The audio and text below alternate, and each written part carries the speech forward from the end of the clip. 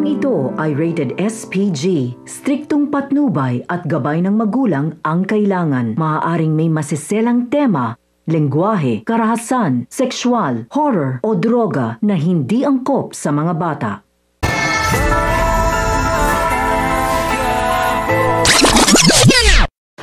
Ang mga dapat nating abangan sa FPG's Batang Quiapo.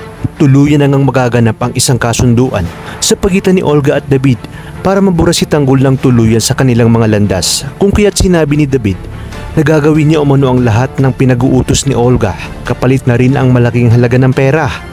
Di na nga magsasayang pa ng oras si Olga at agad na papakawalan si David para masimulan na ang kanilang mga plano.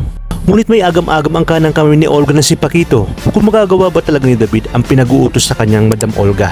Sinabi ni Olga na sigurado umano siyang magtatagumpay si David dahil pareho silang galit kay Tanggol. At ang galit umano nito kay Tanggol ang gagamitin niya para lalong lasunin ang utak ni David. Samantala, malalim na ang gabi at mapapansin ni Tess na hindi pa rin nakakauwi si David kung kaya't itatanong niya kay Santino kung nakita nito ang kanyang kuya David. Sasagot naman si Santino na hindi niya alam at simula kahapon ay di pa nakakauwi. Labis-labis na nga ang pag-aalala ni Tess dahil baka ano na umano ang nangyari kay David. At alam niya nga na tuliro ang isip nito dahil sa mga nangyayari sa kanilang pamilya. Lalong-lalo na ang nangyari kay Camille. Ihinatid na nga ni Olga si David at sasabihin niya na ayusin ito ang kanyang sarili upang hindi magtaka ang kanyang mga kapamilya. Dagdag pa ni Olga na si David na ang gumawa ng alibay kung bakit nawala ito ng matagal.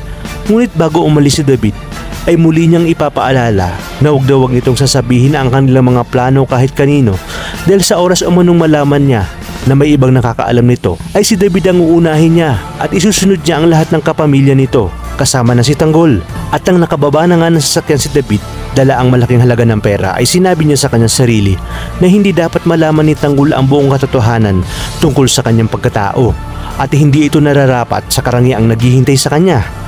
Dagdag pa ni David na sisiguraduhin niyang gagawin niya ang lahat para mabura si Tanggol sa kanyang landas sa lalong madaling panahon. Sa inyong palagay, ano kayang gagawin ni Rigor sa oras na malaman niyang nakikipagsabwatan ang kanyang paboritong anak kay Olga at tagpanggap pa itong anak ni Ramon na siya nga ring mortal na kaaway ni Rigor?